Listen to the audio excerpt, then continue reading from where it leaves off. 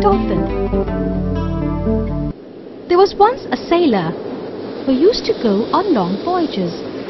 He felt lonely during each voyage as he had no means of entertainment.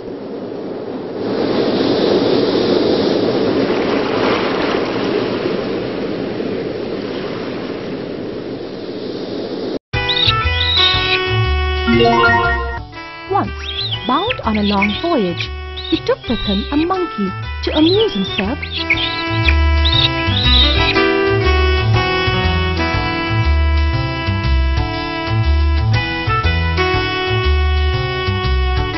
While on shipboard, as he sailed off the coast of Mumbai, a violent storm arose. The ship was wrecked and he, his monkey and all the crew were obliged to swim for their lives. Everyone was in trouble. The monkey tried to save itself. A dolphin saw the monkey fighting with the waves. Man is always said to be friends with dolphins. The dolphin thought the monkey to be a man. So the dolphin came and placed itself under the monkey to carry it safely to the shore.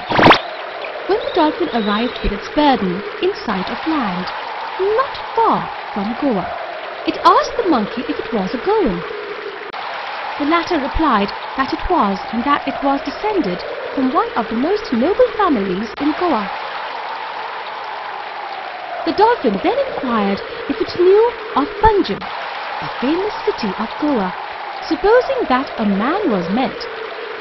The monkey answered that it knew him very well and that they were intimate friends. The dolphin, annoyed at these falsehoods, dipped the monkey under water, where it drowned.